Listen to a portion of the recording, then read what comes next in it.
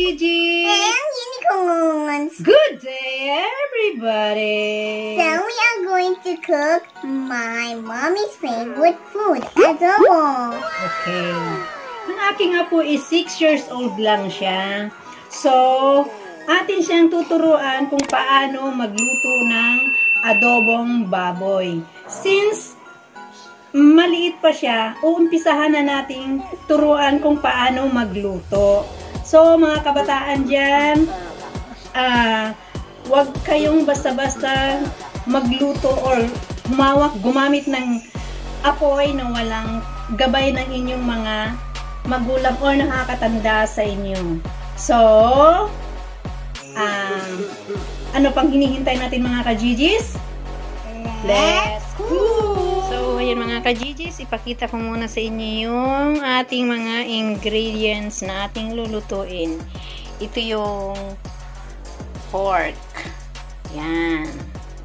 Tapos, ito yung bewang. Bawang. Sibuyas. 1 cup. No, no, no, no, no. It's 1 4 cup of toyo.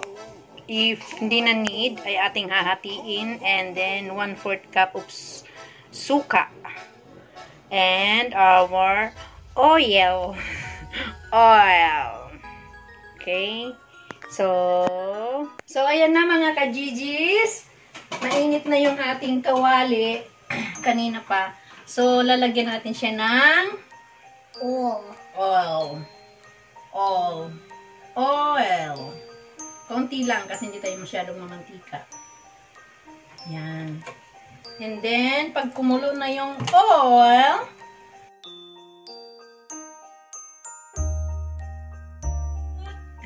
na, Uy, wag, wag, wag muna, wag muna. Mama, mama, mama, sabi ko, Diyos ko naman. natatakot kasi siya dahil first time niya. Wag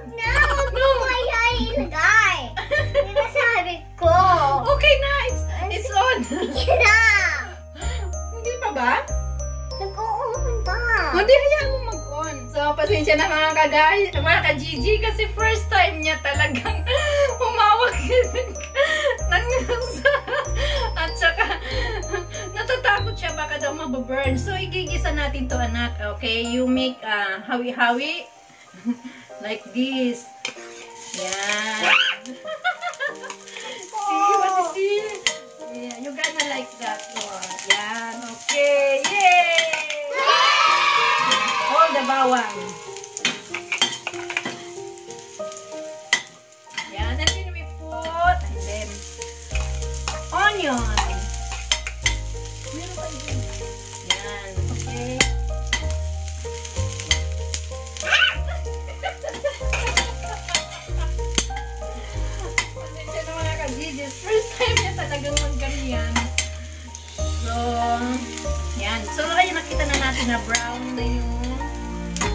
Bawang. Ilagay na natin yung ating Adobong. hindi pa siya adobo. Baboy pa siya. Karning baboy. So, ayan, kailan mo na, baby. Para hindi ako. Si Lola na lang. Ayan. Ilalagay na natin yung ating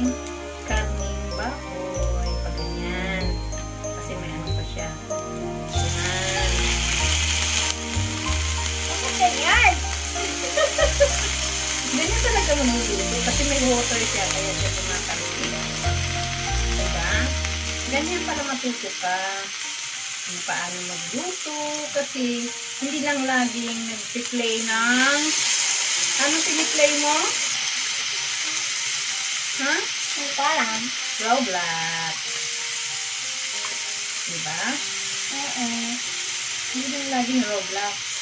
Kailangan matuto kang magluto para paglaki mo, paglaki ng ating baby is natuto na siyang magluto ng adobong baboy. Ayan.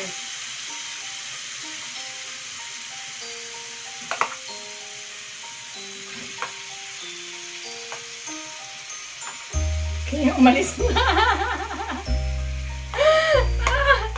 Sa totoo lang mga kajijis, takot na takot siya sa fire. So kayo mga kabataan dyan, wag na wag kayong ah, gumamit ng ah, fire o kaya humawak, gumawa ng ganito na walang gabay ng inyong mga magulang, okay? So, are you getting afraid? Okay.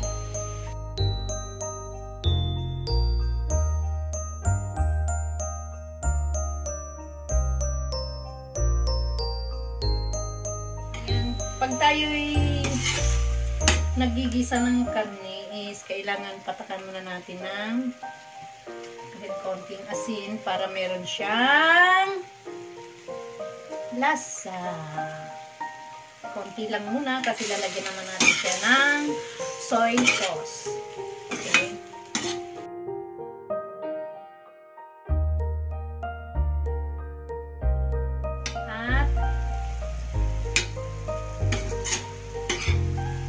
Ginisa natin sa sarili niyang mantika.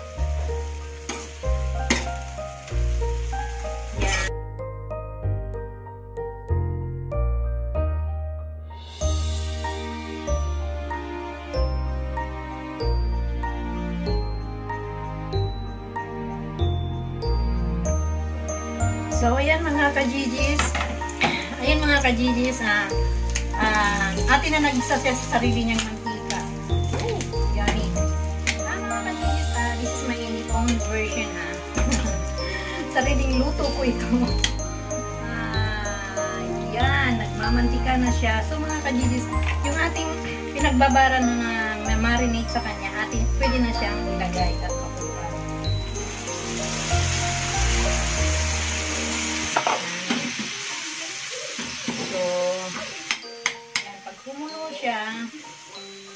sabay na din natin yung ating soy sauce. Half lang muna natin, baka mamaya is sumobra at kumalat naman. Pati yung ating suka. Half. So, hindi natin siya pwedeng haluin kasi may suka. Takpan muna natin.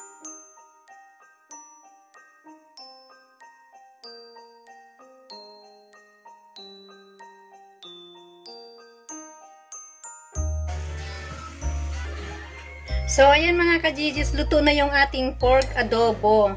Ah, pasensya na po kayo sa TV, nanood na po yung apo ko.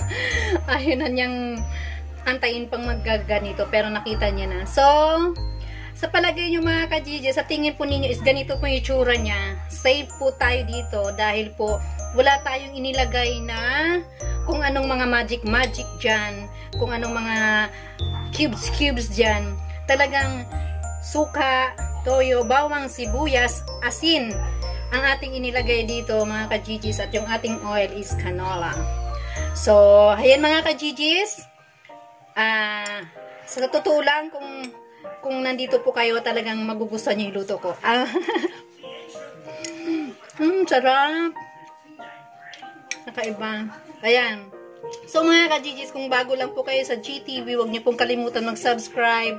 Pahit na rin po yung notification bell para po updated tayo sa upcoming videos natin. Bye mga ka-GGs! Have a nice day!